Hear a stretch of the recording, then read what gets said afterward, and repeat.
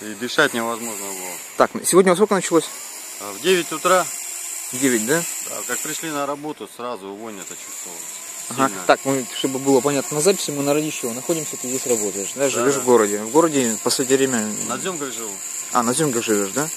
А здесь в последнее время часто пахнет или... Периодически появлялся запах, да. Но сегодня сильнее, да, чем обычно? Сегодня очень сильно. У Мгм. моего знакомого тут даже голова, говорит, разболелась. Здесь тоже с тобой работает, да? Да. Ага. И... Ну, понятно, понятно. В МЧС звонил? Нет, ничего, ничего. Нет? Времени нету, просто работа все. Ага. Ну, мне как раз оттуда позвонили, сказали, что 15 звонков за час было. Поэтому я выехал. Ну, ладно, хорошо.